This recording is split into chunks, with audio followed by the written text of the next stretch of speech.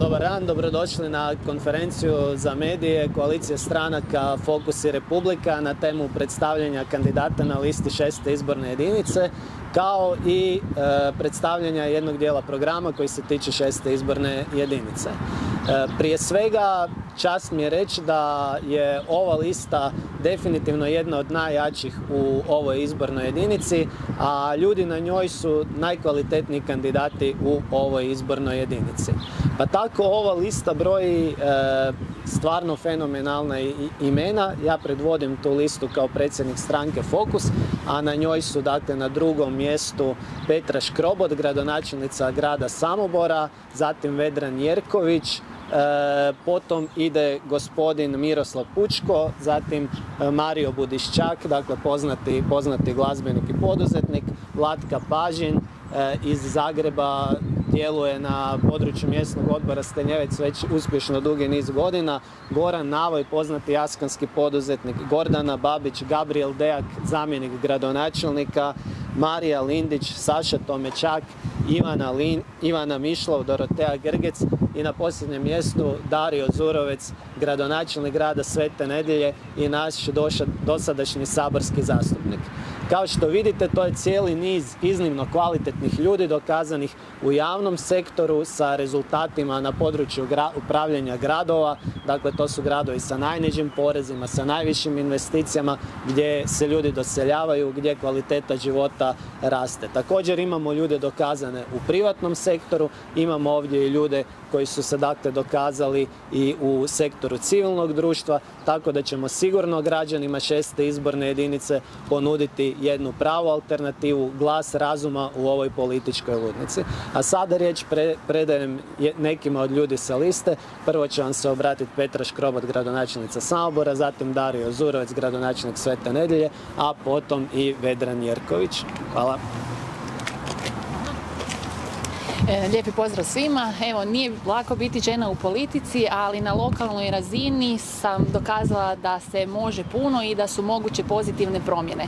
Grade se vrtići, jedna od najvećih investicija, e, logističko-distributivni centar je u realizaciji, isto tako škole, obnavljaju se prometnice. Puno smo toga napravili bez obzira na početne e, obstrukcije od pojedinaca. Nastavljamo na taj način raditi dalje prikazali smo pozitivne promjene e, u našem gradu i smatramo da to možemo učiniti i na nacionalnoj razini. E, ono što je bitno istaknuti da smo ostvarili najveći napredak u kvaliteti života u našem gradu i želimo e, tu sreću podijeliti i s drugima. Sreća je veća kad, se dijeli, pa ju želimo podijeliti i sa svim stanovnicima na području šeste izborne jedinice i ovdje u Podsusedu i u Jastrebarskom i u Klinčarskom selu i cijelom e, zapadnom dijelu Zagreba. Dakle, imamo što pokazati i ponuditi. Hvala. Može. Evo, još jednom lijepi pozdrav svima.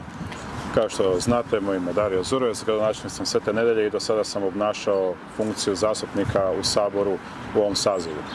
Ono što bih naglasio da je Sveta nedelja kada smo je preuzeli 2017. godine bila jedan umjereno razvijen grad, relativno poželjan što se tiče poslovanja i vidjeli smo grad kojem je bio jedan ogroman potencijal. Taj potencijal smo uspjeli dovesti na tu razinu da praktički cijela Hrvatska se mogla ugledati na nas, a i tri godine poslije toga kad smo postali najtransparentniji grad u cijeloj Hrvatskoj, kada smo počeli raditi jače na javnom prijevozu koji je na koncu konca danas i besplatan u našem gradu, kada smo se potrudili oko puno projekata, taj trud je evo i prepoznat 2020. pa smo dobili nagradu i bio sam prvi zastupnik stranke Fokus u Hrvatskom saboru.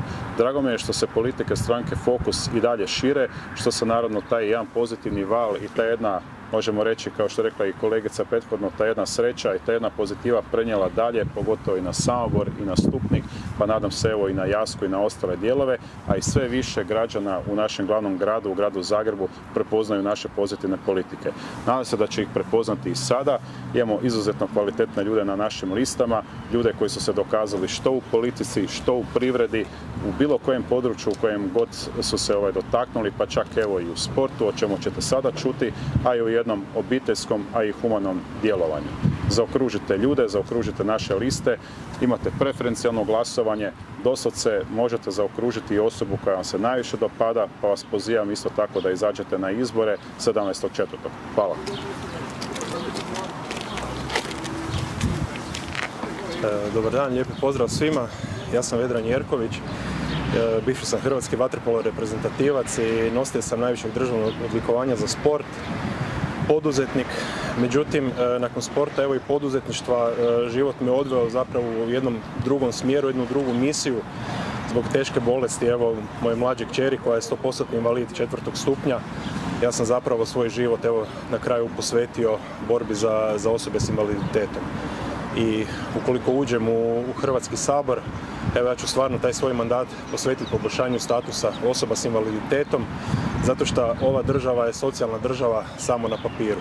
I zaista sam evo ovih devet godina, od koliko je moja kćer prikovana za invalidska kolica, sam evo zaista dobro upoznao sve prepreke, sve nelogičnosti sustava. E, borit ću se za poboljšanje statusa asistenta u nastavi, e, kao što sam rekao, općenito svih osoba e, sa invaliditetom, ali za razliku od mnogih u hrvatskoj politici koji samo pričaju, a na temelju nikakvog iskustva, ja sve te probleme živim svaki dan i evo zato ovoga pozivam zaista ljude da izađu 17.4.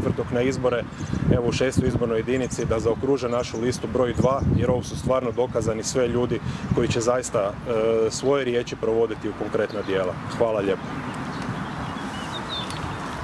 Hvala Vedrane.